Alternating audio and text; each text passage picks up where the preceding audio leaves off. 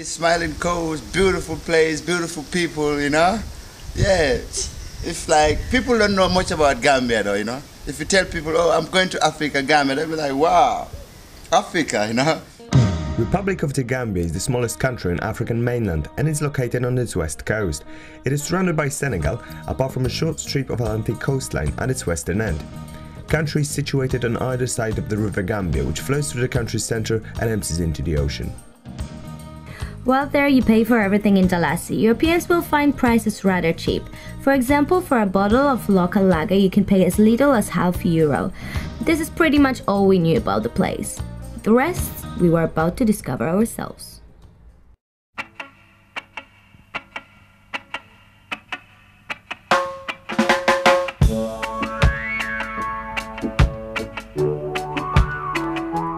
To get to the Gambia takes about 6 hours on the plane from London. While we were getting closer, the excitement was mounting as it was going to be the first time ever we lay our feet on African soil. When that finally happened, we tried to get to the hotel as quickly as possible in order to check in and drop our luggage so we could get out, meet some new people, and start our Gambia experience.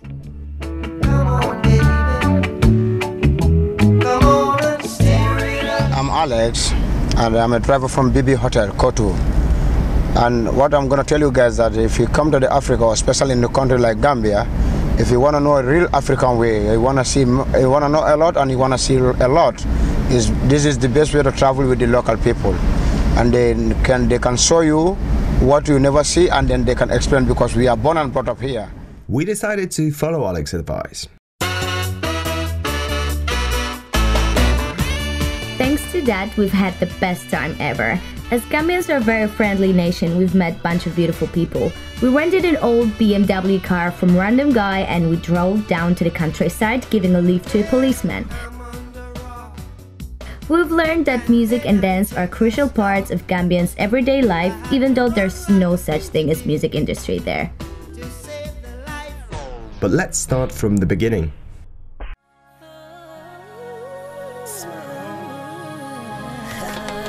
Our story begins in the capital city Banjul, where we started from visiting the Royal Albert Market. In the first part, it offers all sorts of goods, such as food and clothes. However, if you walk further down into the labyrinth of small and colorful alleys, you will find a craft market, where I decided to buy a small kora, Gambian national instrument. It's the bass. Is it, um, have you got a slightly bigger one? How about that one? How much would that be? Here we don't have fixed price. You give me 1500, 1005 first price and we negotiate. Fa- uh, like 1500? Yes, 1000. Ah, that's too much because I'm in on a budget, like a big time budget. So Uh, how much do you want to give? I don't know, like half of it basically because I'm really So poor student. 700. 700. After a few minutes of bargaining, it was mine, 800 dollars it paid. Mine. So that's my first kora I've ever bought. Here it is. You hold it like that. So uh, that's how you hold it. That's how you play it. And I'll yeah, it. that's a bargain. Thank you very much, mate. Thank you for that. God Here bless you. yeah. Cheers. We're rapping till the day we die. Red, white, sexy, blue, and green. The flag that Now we appreciate your coming here because I see what you spend in the market. Although you cannot satisfy everyone, but you try your best, and people are happy, and then you make fun with them in Gambia, and your coming here is very important for us. You know, we appreciate it so much. From the market, we went to the Arch 22, one of the tallest constructions in the Gambia. For a little fee, you can climb up the stairs and enjoy a beautiful view.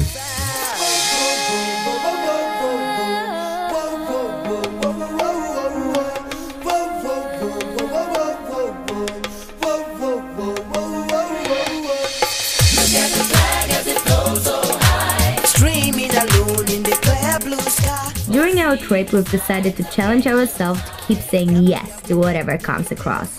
When we got back to the hotel, we met Bobby, who seemed to know everyone in the country. One thing led to another, and 15 minutes later, we were sitting in a car driven by Gambian celebrity T Smallz Suso. First of all, I'll say appreciate that um, he told me about you guys and you appreciate the gig last night. So when he told me and I'm like, I'm going to the festival now and I'm just going with my DJ. So I'm like, okay. And he says three of you guys. I'm like, I always try to build my followers up. So if I can have two, three people again on top of um, the huge crowd, well, I, I'll do it wherever it takes. You know what I mean? So I'm gonna say welcome, and we're going to the festival. When you're ready for party,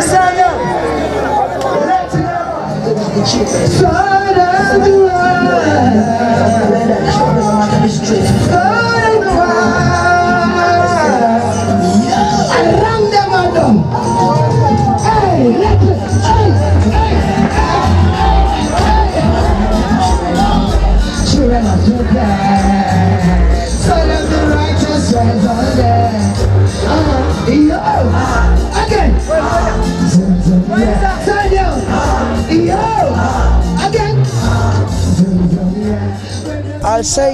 influences first of all come from my parents because my parents are, are, are, musicians. They do music, they make music instruments, you know, and that's the first influence and that's that's the first inspiration ever.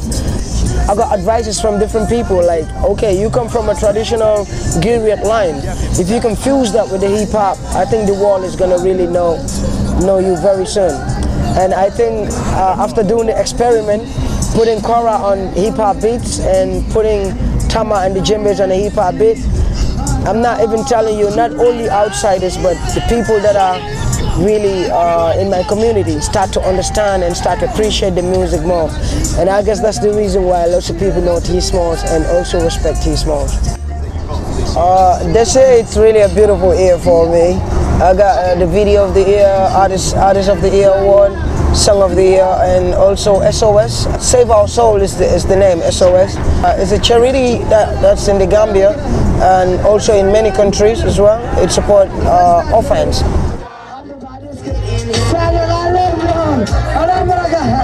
Thank you so much.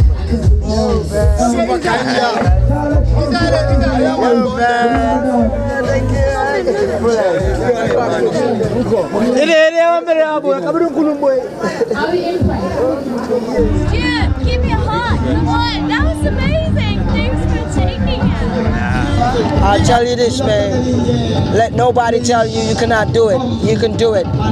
Trust me, man. You can do it. You can do whatever you want to do, and you'll be great at it. You can be the best in the world. I'm telling you. They say that you cannot make it. Say nah nah nah After Sanyang Music Festival, T-Smallz and his DJ Sojo invited us to the Paradise FM radio station, where every Saturday Smallz presents his show during which he promotes Gambian artists. It is one of the biggest stations in the Gambia and it was nice to see how little you need to pull off a show which attracts nationwide audience. Defal sa def nga am sa fit bila yow di nga tekki Life is what you make it Fexeel ba am sa meche Lo songa rek na beche Lig def ña def They will be talking How you walk, how you talk Wherever you There was still some tourist attractions that we wanted to cover briefly. Bijilo Forest Park is a small rainforest nature reserve where one can meet eye to eye with monkeys. Watch your backs while you're there, as those primates are quite clever and if they smell food, they'll just take it, even from closed backpacks. Next, we've met Yayan Camel, who took us to the sacred pool in Bakau, so we could get closer to another animal. And you look a bit frightened. That looks scary to me, though. He doesn't even. He's not even bothered. That's the whole thing about Yeah, it. He's but like, what if he like? I think this is what they do. They just like lay there, and then suddenly, all of a sudden, they'll eat you alive. But he never did. Yeah, he this is what ate they say. They have to tell you that. Apparently, they only eat fish and never attacked human beings. However, if they get aggressive, it's only towards each other when two female fight for the likes of male. You heard me right. Female fight for male. During the fight, they often lose teeth, from which locals make good luck talismans. By the way, you'll be surprised how many good luck talismans they sell in the Gambia.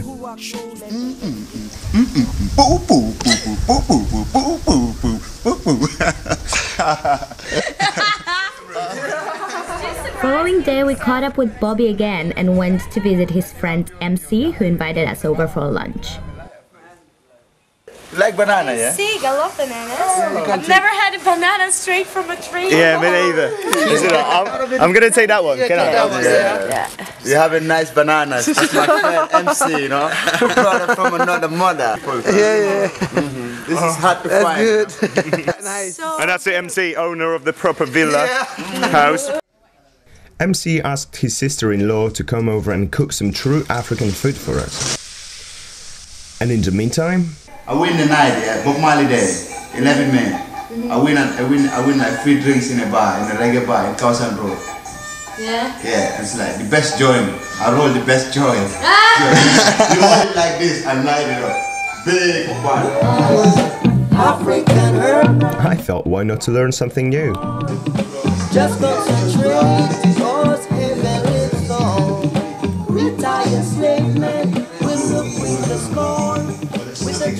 a transplant.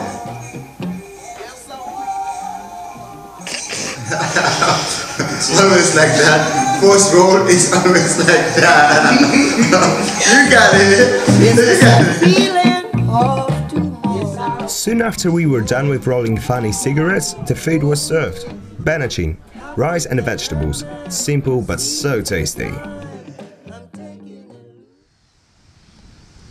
Last couple of days we decided to spend on visiting places outside Gambian resorts areas. So normally we bought fish from here and we take it home and then they sell to the poor people and then in the community market there so that everybody can have daily survival from this fish here, how we get sell them here. And this is the largest fishing area in Gambia called Tanji Beach. Tanji village lies just few miles south from main tourist areas. What is magical about this place is the harmony in which people live here.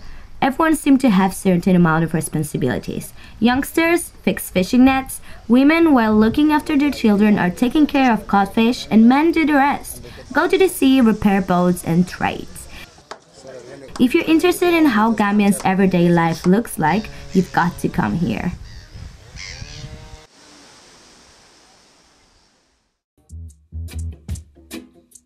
Our next destination was Safari in Senegal.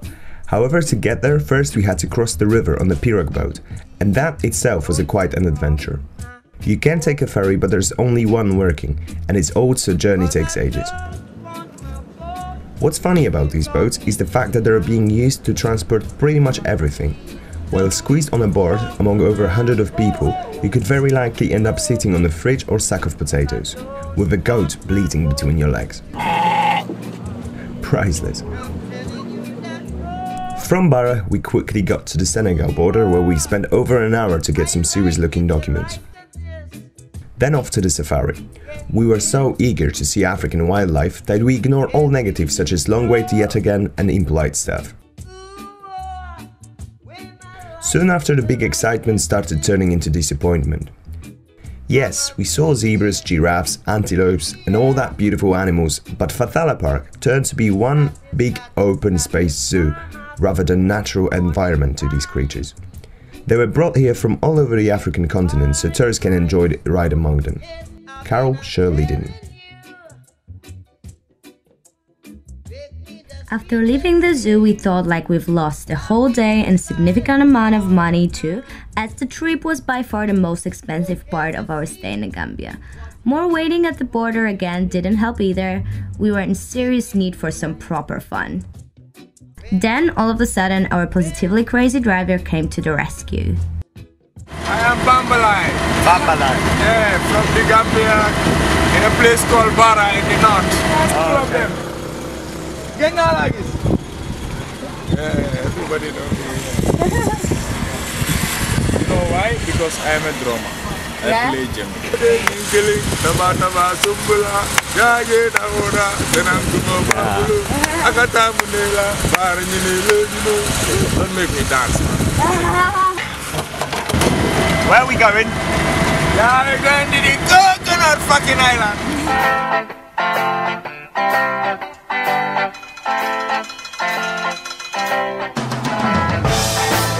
Bambalai decided to take us to one of his favorite places in the country. Coconuts Island's real name is Ginak, but it's also known as a treasure or paradise island. It would be fair to say that it lays in the middle of nowhere. At one point, the road finished, and the only way was through the meadows and dried river channels. When we finally got there, all of a sudden, all fancy names given to the place started to make sense. Yeah, it's very peaceful. We have guest houses, we have four guest houses, and we have the big one also, that is the family house. If you are interested, we normally do these African dancings like kankurans and other things just to entertain you and you just enjoy it, you know. yeah. If you don't know Jinak, like I did not know Jinak, knowing Jinak today, you know, it's beautiful place. The spirituality you feel here from the people, from the nature itself, you know, like yesterday and from the beautiful children, you know, dancing with the love they show you. You get to understand coming from the town, you know, with all the vehicles, all the, you know, fussing and all that hustling and, you know, you don't find that here. See, you just hear beautiful birds flying around, beautiful sun reflecting on the river. You know, it's just beautiful. It's just spiritual, inspiring. You know, for me, I love nature, so this is it. You know, nature's way. Nature's way. Nature's way. I'm far away from home, but I still feel like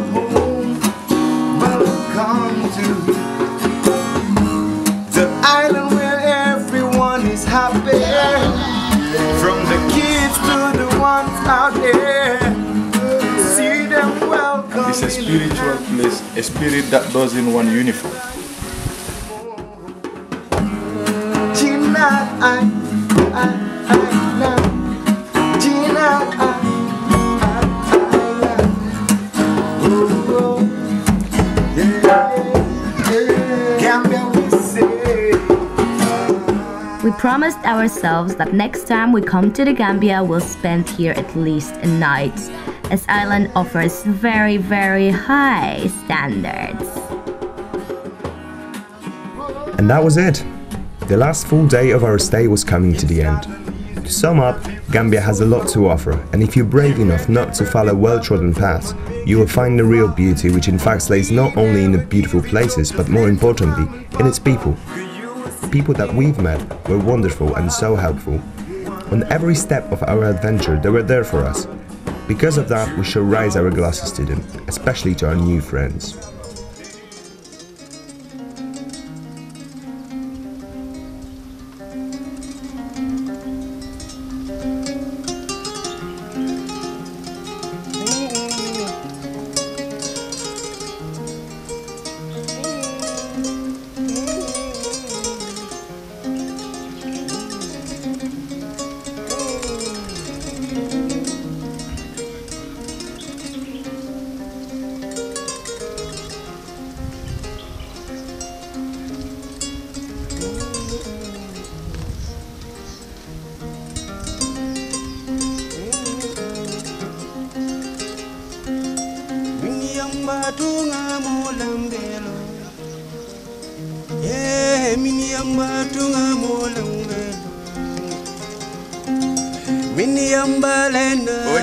Love it, man. Gambia is nice, you know, it's safe, you know.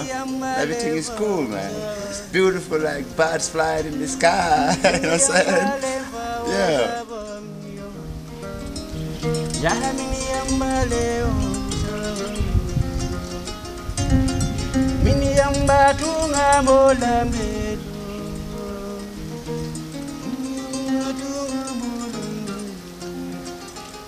Tunga Tunga tunga tunga tunga molambelo